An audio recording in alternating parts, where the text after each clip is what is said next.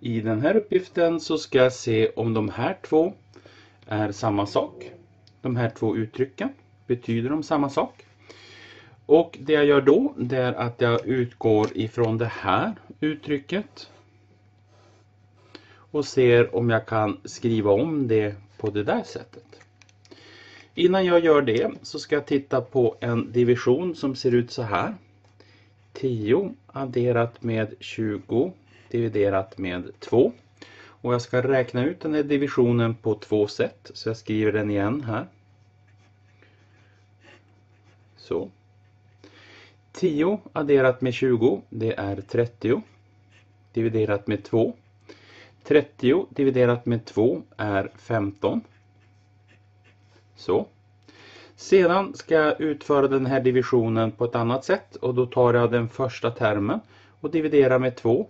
Sen adderar jag den andra termen dividerat med 2. Och den första termen dividerat med 2 det är alltså då 10 delat med 2. Adderat med 20 dividerat med 2. 10 dividerat med 2 är 5. 20 dividerat med 2 är 10. 5 plus 10 är 15. Sådär.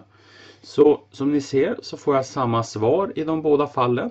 Så det betyder att jag kan antingen räkna på det här sättet eller jag kan räkna på det här sättet. Så om jag då återgår till det här uttrycket y lika med 3x plus 2 dividerat med 4 så kan jag, eftersom att jag kan räkna så här när det är vanliga siffror, så kan jag räkna på det sättet även om det innehåller ett x här. Så kan jag skriva det som 3x dividerat med 4 adderat med 2 dividerat med 4.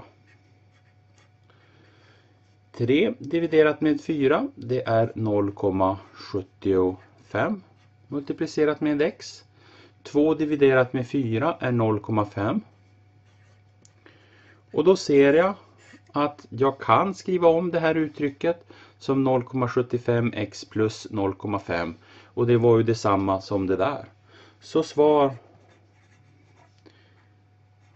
Ja, han har rätt.